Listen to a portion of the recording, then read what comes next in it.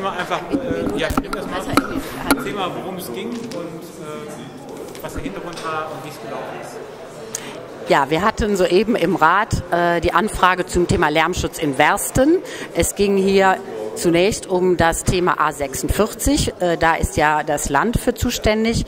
Da soll es jetzt einen entsprechenden Flüsterasphalt geben, was wir sehr begrüßen. Dennoch sind wir auch der Auffassung, die Stadt Düsseldorf darf sich hier nicht aus der Verantwortung stehlen, denn die Werstener Straße, die ja daneben verläuft, ist ebenfalls extrem laut und wir fordern hier eine entsprechende Planung, die zumindest umfasst, dass die Geschwindigkeit dort von 80 km/h auf 60 reduziert wird, was schon eine deutliche Minderung des Lärms dann zur Folge hätte.